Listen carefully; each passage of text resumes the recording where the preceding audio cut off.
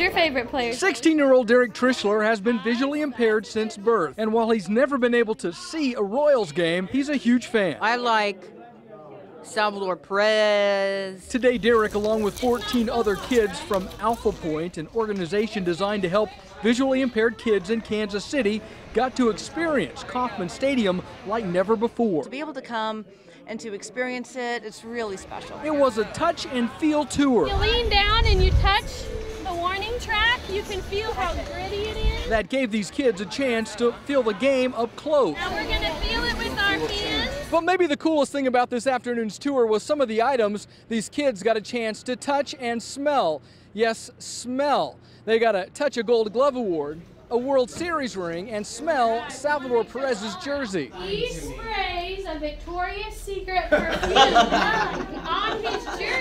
And that was maybe the coolest thing about the whole tour. The jersey. Reporting at Kauffman Stadium, Alan Shobe, KMBC 9 News.